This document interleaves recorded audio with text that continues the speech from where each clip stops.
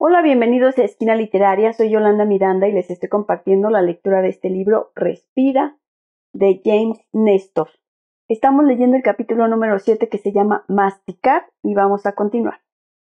El doctor Nayak, el cirujano de Stanford, experto en la nariz, me contó durante nuestra primera reunión que la mayor parte de los trabajos de desobstrucción nasal que hace conllevan convertir una autopsia de un carril en una autopsia de dos carriles. Si un fregadero está atascado, encontramos la forma de desatascarlo de manera segura y rápida. A veces usamos el limpiador marcadrano para un atasco pequeño.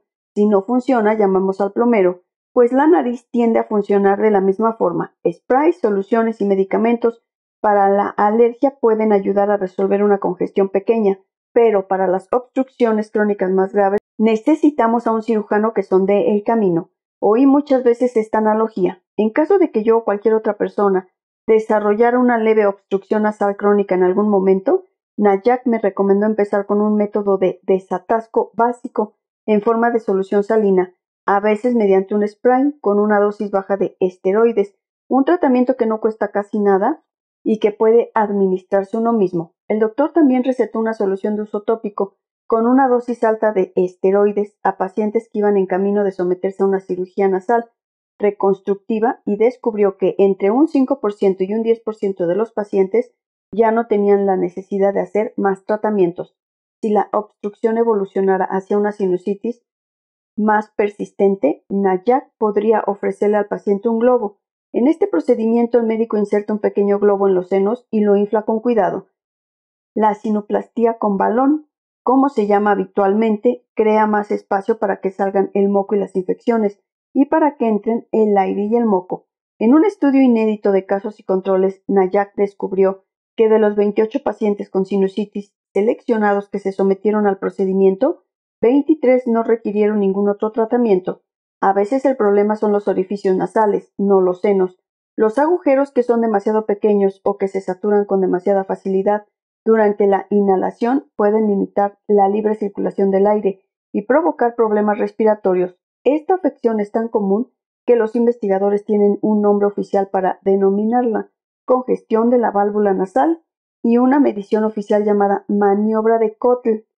Dicha maniobra consiste en colocar un dedo índice al lado de uno de los dos agujeros nasales y jalar suavemente la mejilla hacia afuera, lo cual abre ligeramente los orificios.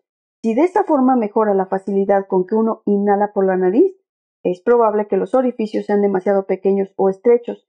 Mucha gente con esta dolencia se somete a una cirugía mínimamente invasiva o usa unas tiritas adhesivas Brit Right o unos conos de dilatación nasal.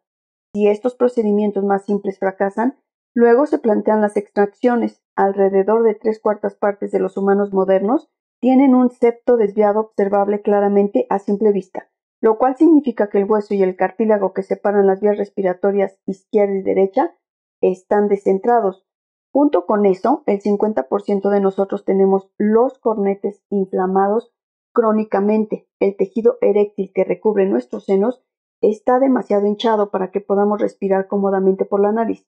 Ambos problemas pueden causar dificultades respiratorias crónicas y un mayor riesgo de infecciones.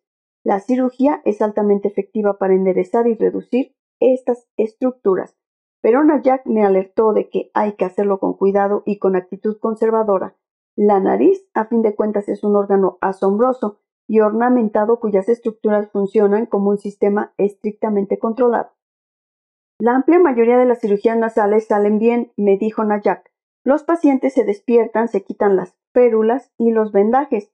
Fin de la congestión. Se acabaron las cefaleas sinusales se acabó respirar por la boca, se abre ante ellos una nueva vida respirando mejor que nunca. Pero esto no ocurre siempre. Si los cirujanos extraen demasiado tejido, especialmente los cornetes, la nariz no puede filtrar, humidificar, purificar o ni siquiera percibir el aire inhalado. A este grupo pequeño y desafortunado de pacientes el aire les entra demasiado deprisa, una afección horrible llamada síndrome de la nariz vacía. Entrevisté a varias personas que padecían este síndrome con tal de entender la enfermedad. Hablé durante meses con Peter, un técnico de láser que trabajaba en la industria aeronáutica en Cyril. Él había programado una intervención quirúrgica con la esperanza de resolver una obstrucción menor. y sin su permiso le extrajeron el 75% de los cornetes en dos intervenciones. A los pocos días de la primera intervención empezó a tener una sensación de asfixia. No podía dormir. Los cirujanos lo convencieron de que no habían sacado suficiente, así que volvieron a operarlo. La segunda cirugía lo empeoró mucho más. Años después, con cada bocanada de aire, Peter sentía una punzada de dolor en el cerebro, como si se la hubieran suministrado con una bomba de aire. Los médicos le dijeron a Peter que estaba todo correcto. Le recetaron antidepresivos y le recomendaron hacer ejercicio regularmente.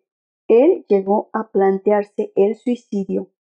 Viajé a Letonia para pasar dos días con la entonces presidenta de la Asociación del Síndrome de la Nariz Vacía.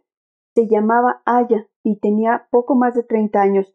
Ocho años antes, tras estudiar dos másteres, Aya estaba empezando su carrera en una empresa y dedicaba sus ratos libres a cantar y bailar. Tenía una buena forma física y nunca había padecido enfermedades graves. Durante una revisión, un médico le encontró un pequeño quiste en los senos nasales y le sugirió que se lo extrajeran en una intervención rutinaria. El cirujano escarbó dentro de su nariz y le sacó extensas partes de los senos y los cornetes, además de olvidarse de quitarle el quiste. Los efectos fueron dramáticos. Parece como si estuviera ahogándome constantemente en aire, me dijo Aya. Se vio forzada a abandonar su carrera profesional y a renunciar a la mayor parte de la actividad física. Cada día es una batalla, cada respiración, me dijo. Cientos de personas que sufren este síndrome me contaron historias similares. Se quejaban de insomnio, ataques de pánico, ansiedad, pérdida del apetito y depresión crónica. Cuanto más respiraban, más les faltaba el aliento. Sus médicos, familias y amigos no lograban entenderlo. Tener acceso a más aire y más rápidamente no podía ser sino una ventaja, decían, pero ahora sabemos que con mayor frecuencia es todo lo contrario. Un 5% de los pacientes que ha tenido Nayak en los últimos seis años Casi 200 personas de 25 estados norteamericanos y 7 países han venido a Stanford para entender si y de qué manera los estaba afectando el síndrome de la nariz vacía y qué procedimientos podrían ayudarlos a respirar nuevamente de forma normal. Si pasan una rigurosa prueba de cribado, Nayak entra en su nariz y les añade los tejidos blandos y el cartílago que les extrajeron.